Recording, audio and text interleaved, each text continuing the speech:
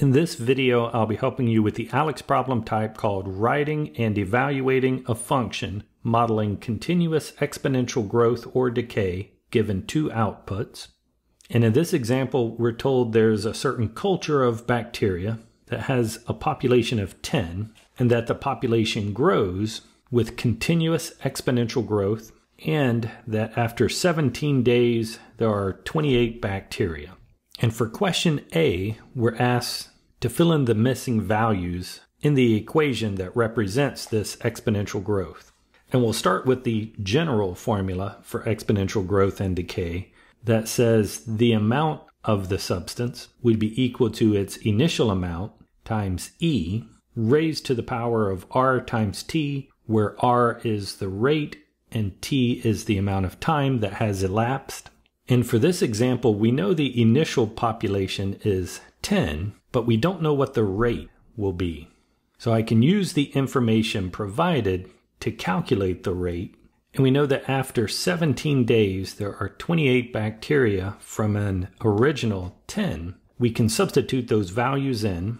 The final amount will be 28 bacteria equals the initial 10 bacteria times E raised to the R, which we don't know, but the time is 17. From here, the only variable is r, so we can solve for r first by dividing both sides by 10.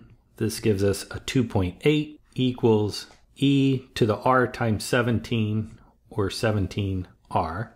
And from here to solve for r, since r is in the exponent, I'll need to use logarithms. And since I have a base e, I can use natural logs on both sides this gives me the natural log of 2.8 equals the natural log and the base e cancels to bring down the 17r. And then dividing both sides by 17, we have r equals the natural log of 2.8 over 17. I can now write the formula in part A that says y equals the initial amount, which I know from the description was 10, times e raised to the r, which I now know as the ln of 2.8 over 17 times t. And now that we have this formula for part B, we're asked to figure out how many bacteria would be left after 21 days.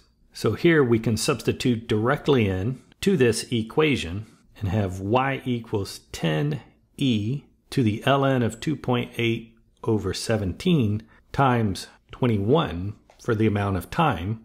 And from here, we can use a tool such as Desmos to make sure that we're not doing any intermediate computations that could lead to rounding errors. And since we're asked to give the bacteria to the nearest whole number, my solution here will round up to 36 bacteria after 21 days.